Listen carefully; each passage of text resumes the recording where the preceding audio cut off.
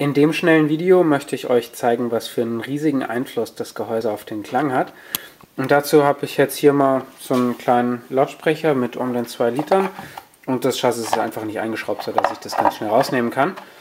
Und ich werde jetzt einfach mal ein Lied einmachen und dann werdet ihr schon sehen, was für einen Unterschied es macht, ob das Lautsprecherchassis im Gehäuse eingebaut ist oder nicht.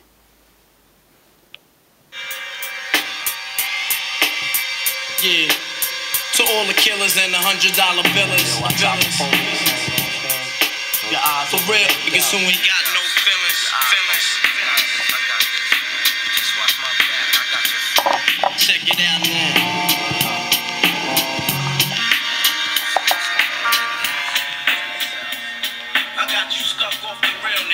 Also ich denke, hier hat man schon sehr gut gehört, dass das gerade im Bass einiges an Unterschied macht.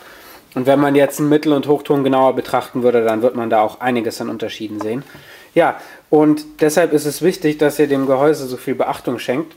Und jetzt ist es ohne Gehäuse und mit Gehäuse ist schon ein sehr krasser Unterschied. Aber den gleichen Effekt hat man auch bei richtigen und bei falschem Gehäuse. Da macht es schon einen Unterschied, ob der Bassreflexkanal jetzt 5 cm oder 10 cm lang ist.